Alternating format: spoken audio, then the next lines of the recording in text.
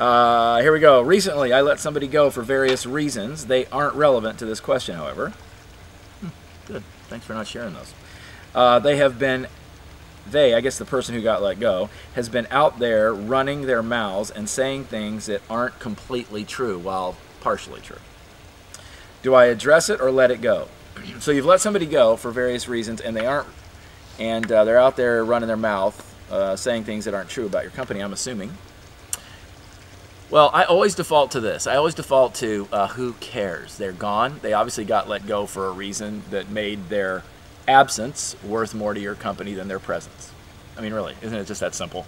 If we let somebody go, regardless of the reason, generally their absence is um, not nearly as, um, they're not going to be missed nearly as much as somebody who is completely necessary to the company. So, do you address it or do you let it go? These things that he's saying, um, I always err on the side of letting it go, and I err on the side of letting it go because why do you have time?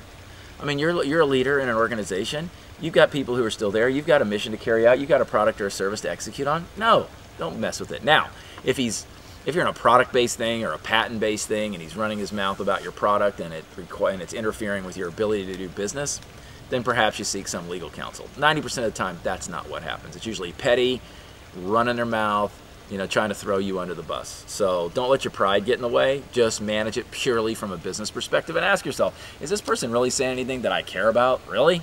Probably not. Oh, you might care about it, but don't burn your time. Now that's hard to do because, you know, sometimes we want our pound of flesh just like everybody else. I'm just telling you, it wouldn't be worth it to me. So assess what they're saying determine whether or not it has any real impact on the business. I'm talking about real tangible impact on your product or service.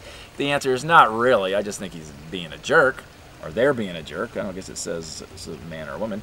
Um, then, uh, if they're just being a jerk, then I no, I wouldn't. And what's probably going to happen is they're going to get another job and they're going to go away. And the more fuel you add to that fire, the worse it's going to be. All right. I'd leave it alone unless it's having significant impact on the business. All right. Take care. See you next week. Bye, everybody.